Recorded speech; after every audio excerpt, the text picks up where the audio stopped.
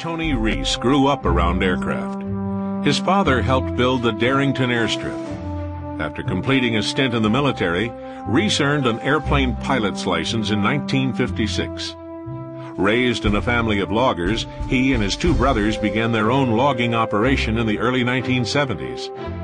Reece then decided to learn to fly a helicopter to support the business. After he completed his flight training, Reece and his brothers purchased a Bell 47 helicopter.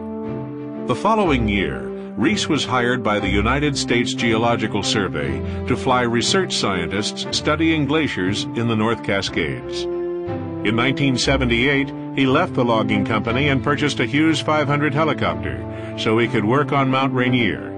Reece was then hired to fly for North Cascades National Park. Throughout Reece's 51 years as a licensed pilot, he has rescued and evacuated more than 250 lost or stranded park visitors.